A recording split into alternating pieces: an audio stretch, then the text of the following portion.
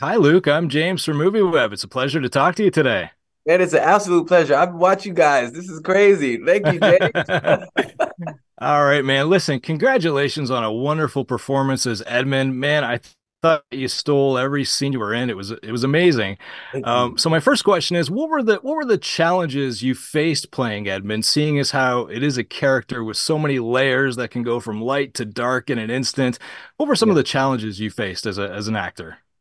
I think the, the biggest challenge was just to let go, you know, and not overthink it and just trust Lil Marvin uh, has created a great safe space for me to, you know, dive into the unknown.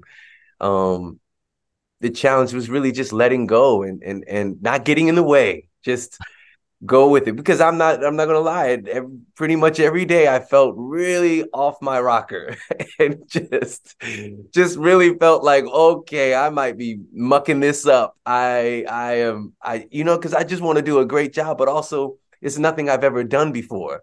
So it's really you know fish out of water. Yeah, yeah. I'm still breathing. Well, listen, man, you hit it out of the park. Uh, So, h- how was it, how was it to to collaborate and, and to work in this world that Little Marvin created? He's such a rich creator. Oh my God. Uh, You said it. It it it I feel enriched because of this. This experience talking to you right now. I mean, it just it's like the gift that keeps on giving. This experience has been beyond. I'm so grateful. I am a huge fan of the anthology. I seen season 1.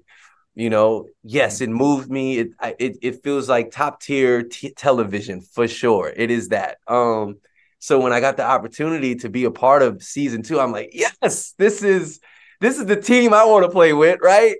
I mean, it's as an actor, as a performer, as an artist, you, we all want this type of thing. You know what I mean? It just hmm it's it's so it's so meaty, it's so anchored, it's so grounded and fun um to explore such uh avenues, especially in this within this genre. So yeah. That's awesome, man. That's awesome. Listen, congratulations on all your success. I really appreciate your time today, and I do hope to see you in more horror films down the line. You're Hey, really good at it. I hope so. Uh,